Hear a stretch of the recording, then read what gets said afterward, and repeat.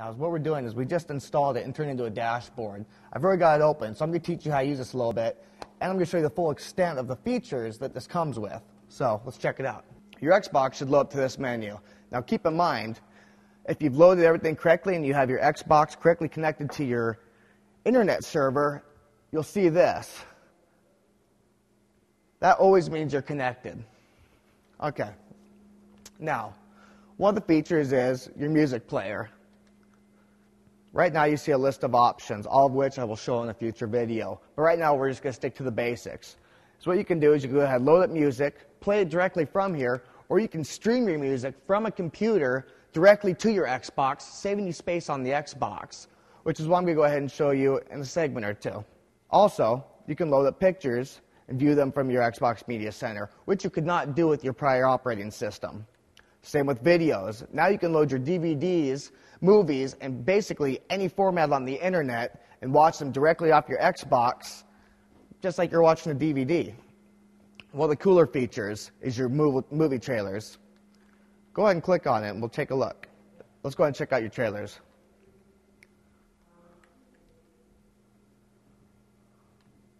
Now it's going to load up some code. And originally when you start up, it's going to update your movies. I'm going to go ahead and update all now.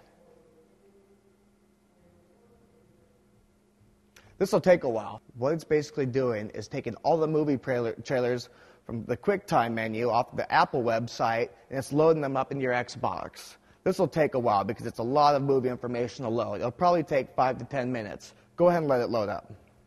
After you see an icon here you'll know that it's all loaded up correctly. so first we'll go ahead and just go through like some of the options you have using the Apple Movie Trailers player.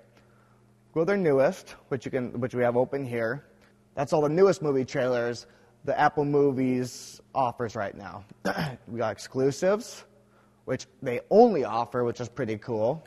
Or you can search by the genre action, adventure, comedy, documentary, drama, etc., etc. We're going to go ahead, we're going to go back to our newest,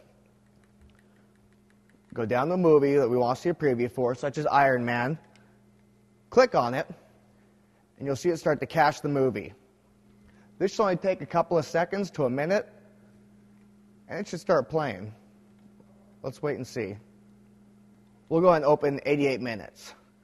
After it caches, it'll start playing right away at DVD quality. This is streaming directly from the website, so it doesn't take up any, any more space on your Xbox. All right. If you want to get it, go and press your red B button. You'll probably want to watch these, though. Let's go back to our menu. Click the back button. Watch the next segment, which is part two of using your Xbox Media Center.